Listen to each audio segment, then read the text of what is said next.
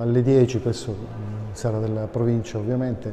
saranno presentati e sarà consegnato anche a tutti i comuni, a tutti i sindaci dei comuni che parteciperanno, ovviamente anche a chi impossibilitato manderà un rappresentante per questo studio che la provincia già da due anni ci lavora con l'Università di Studi di Reggio Calabria, con la Mediterranea, proprio per lo studio della difesa del, difesa del suolo per quanto riguarda tutto il nostro territorio della provincia di Reggio. In particolare eh, saranno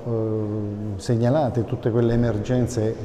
di quanto, tanto in questi giorni si sta parlando molto anche su un recente studio fatto da altri enti, eh, su una, un approfondimento complessivo di tutto quello che riguarda il rischio frane, il rischio idrogeologico di tutto il territorio della nostra provincia. Riteniamo che possa essere uno strumento utile eh, per tutto, anche per l'alto valore scientifico, per tutto quello che potranno essere gli studi che ogni singolo comune dovrà e potrà affrontare nei propri territori. Quindi crediamo di, di completare quella che era un'attività che abbiamo dato inizio due anni or sono proprio per completare, come abbiamo già fatto per la difesa costiera, anche questo iter che pensiamo possa essere interessante e importante